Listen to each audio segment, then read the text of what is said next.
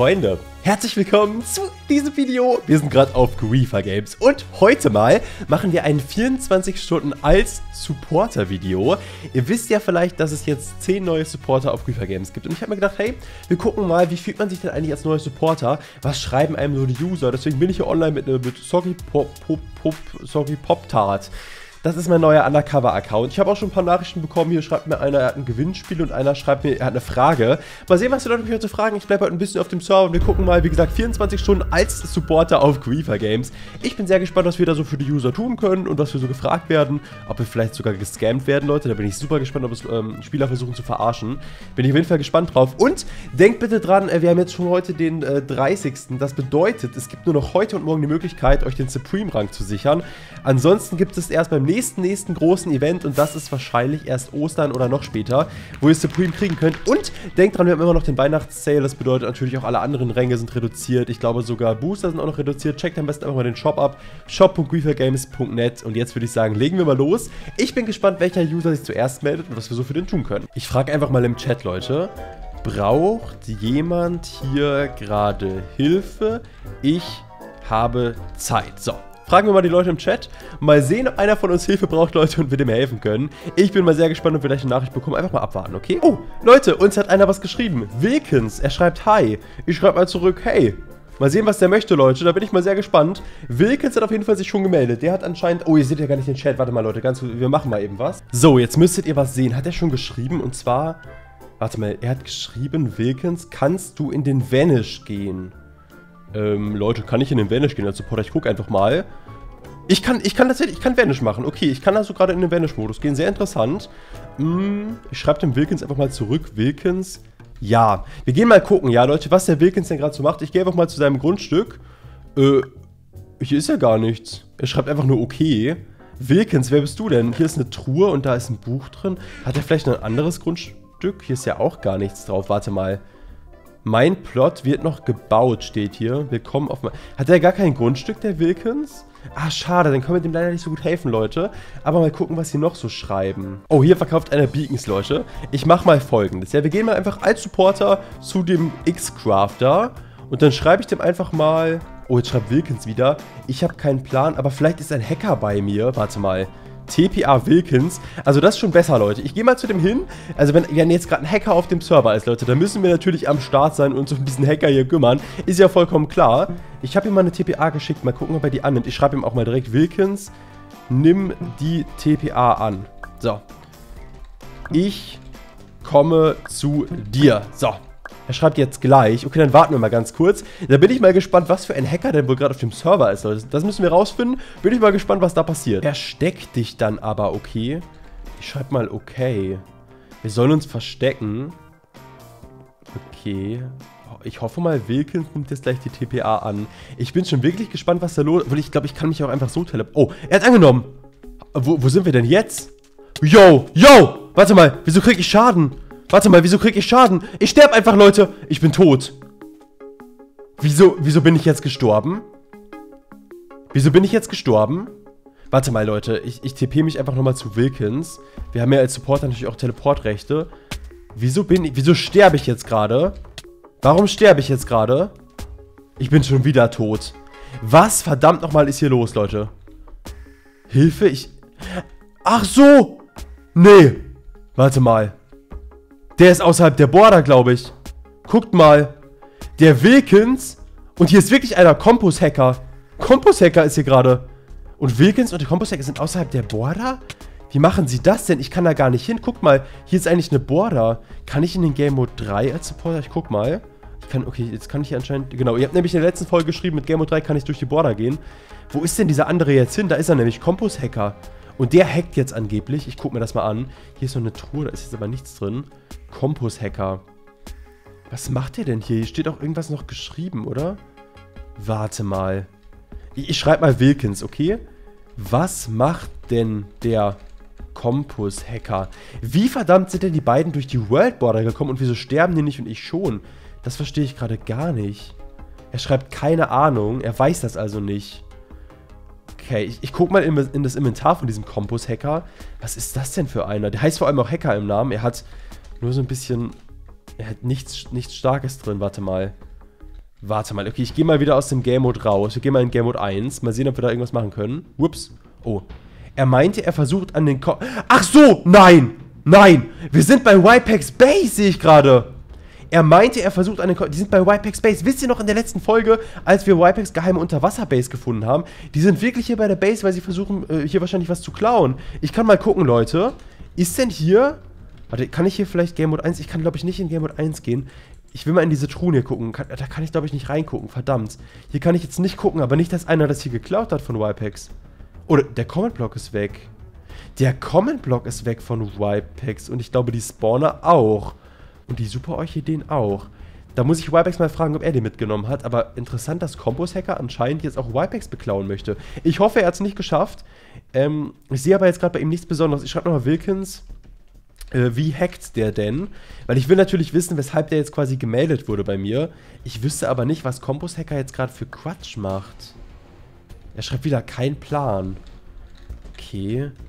Was macht denn... Jetzt ist er am Spawn, Compos Hacker. Hm. Ich würde sagen, wir beobachten ihn mal weiter so ein bisschen, aber ich kann jetzt nicht erkennen, was der Illegales macht. Ich meine, wir sind ja ein Supporter, Leute. Und ihr müsst wissen, als Supporter haben wir die Verantwortung für den Server und wenn uns jemand was meldet, also einen bösen Spieler, müssen wir den halt bestrafen, aber wir dürfen natürlich auch nur bestrafen, wenn jemand wirklich was Böses macht. Und das kann ich jetzt gerade nicht erkennen, deswegen würde ich sagen, da machen wir jetzt erstmal gar nichts und warten mal ein bisschen ab. Vielleicht fällt er ja wieder auf und dann überlegen wir mal. Kannst du mir gerade mal kurz eine Frage beantworten?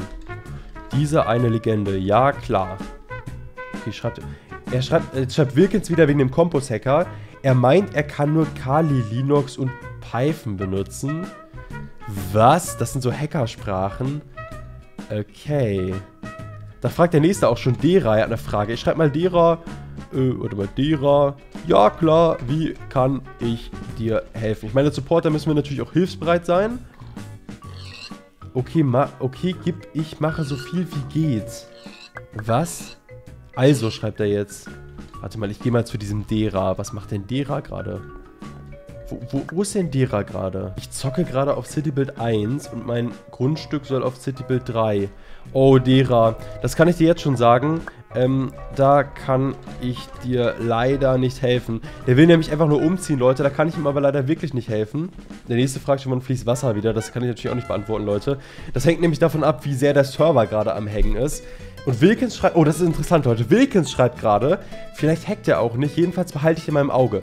Dem schreibe ich nochmal den Wilkins und zwar äh, MSG Wilkins. Ja, mach das bitte. Das ist echt komisch. Der soll auf jeden Fall im Auge behalten. Da bin ich mal gespannt. Oh, hier habe ich einen interessanten Spieler, Leute. Der hat nämlich gar keinen Rang und er schreibt, ich verkaufe meine EC. Ich gehe mal zu diesem Urin... Ur Urinprobe.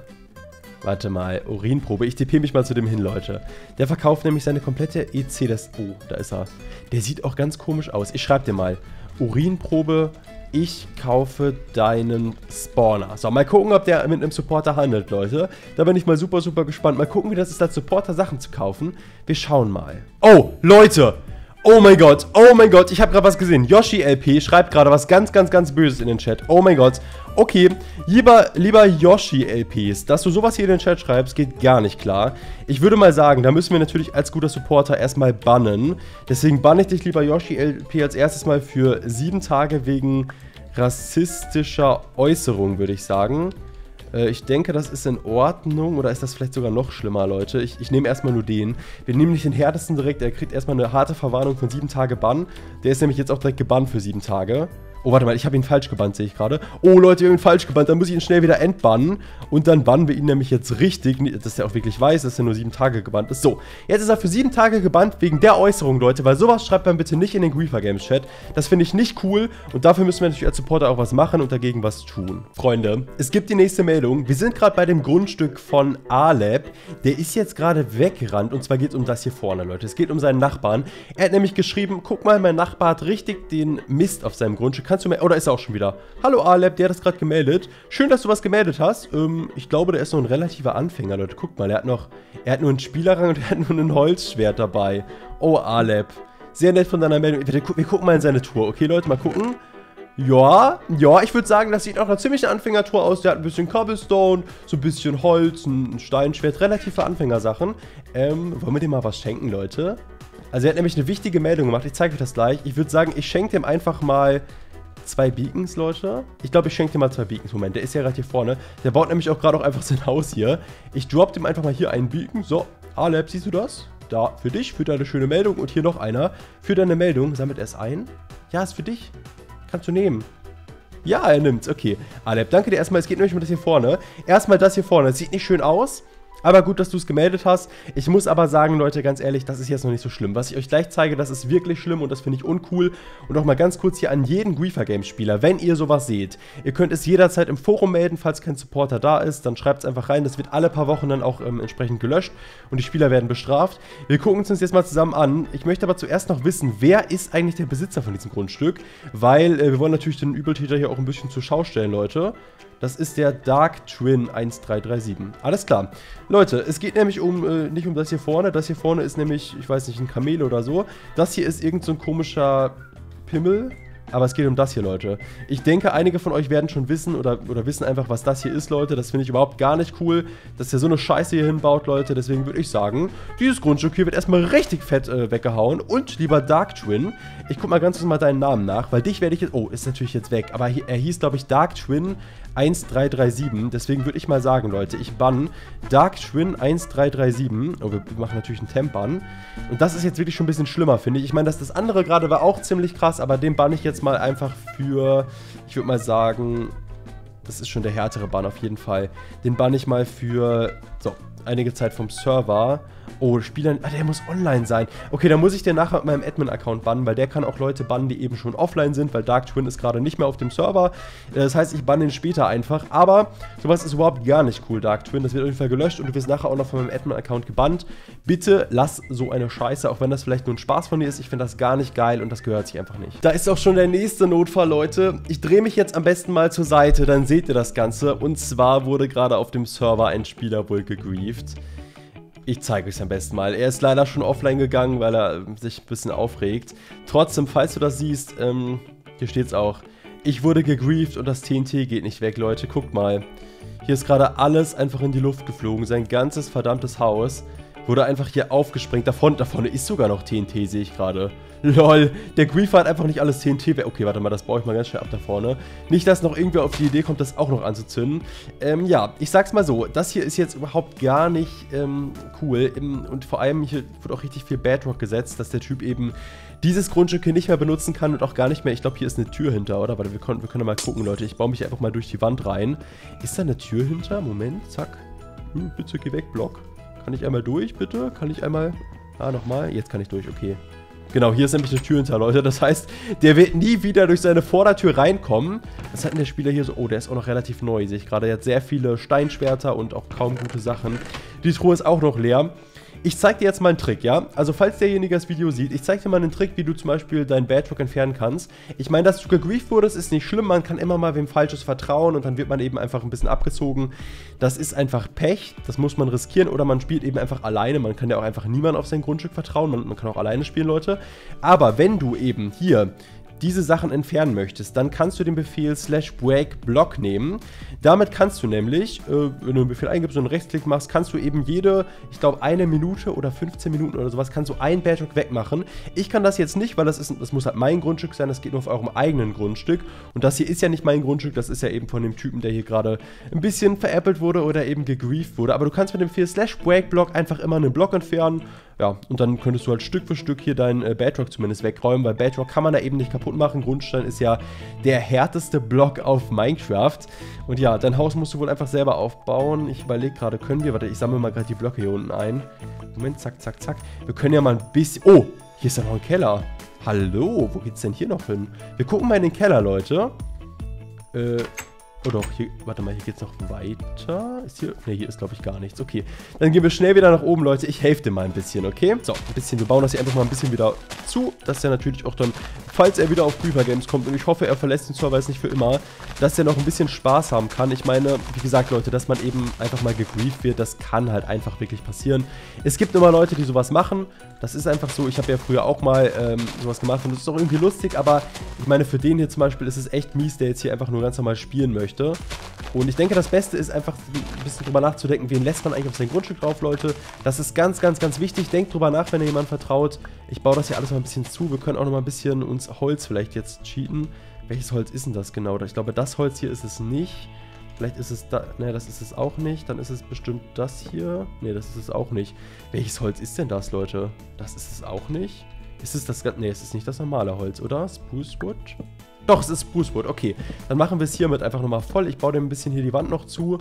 So, alles andere, was hier also an Fenstern war, das muss er dann selber machen. Aber ein bisschen möchte ich ihm zumindest helfen, Leute.